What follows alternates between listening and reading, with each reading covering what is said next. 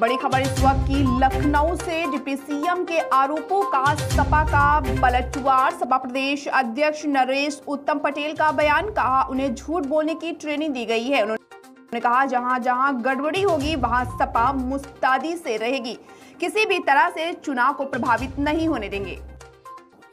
नरेश उत्तम ने कहा, उल्टा चोर कोतवाल को डांटे। कहावत चरितार्थ। ये इस वक्त की बड़ी खबर लखनऊ से। डिप्टी सीएम के आरोपों का सपा का पलटवार। सपा प्रदेश अध्यक्ष नरेश उत्तम पटेल का बयान। कहा, जहाँ जहाँ गड़बड़ी होगी, वहाँ सपा मुस्तैदी से रहेगी। उन्हें झूठ बोलने की ट्रेनिंग दी गई है। किसी भी तरह से चुनाव को प्रभावित नहीं होने देंगे।